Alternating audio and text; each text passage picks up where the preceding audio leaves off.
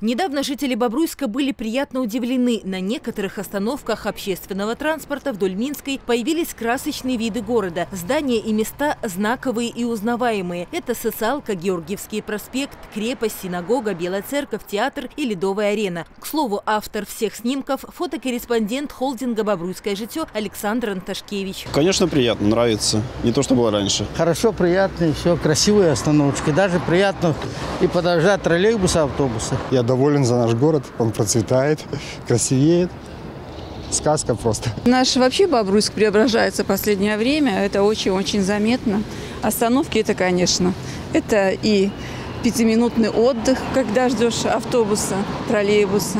Это очень приятно, очень приятно. И хочется, чтобы наш э, город был европейским, красивым, удобным и действительно городом для жизни. Контролер Жанна Синковец тоже довольна. Говорит, теперь на остановках стало по-настоящему уютно. Это, кстати, уже не впервые отмечают и приезжие. Видами родного города восхищаются, конечно, и сами жители. Главное, чтобы мини-экспозиции никому не мешали и на них не посягали вандалы. Поменьше объявлений, чтобы вешали сюда, потому что дворники, это мало что труд дворников, это очень тяжело и некрасиво, все портят.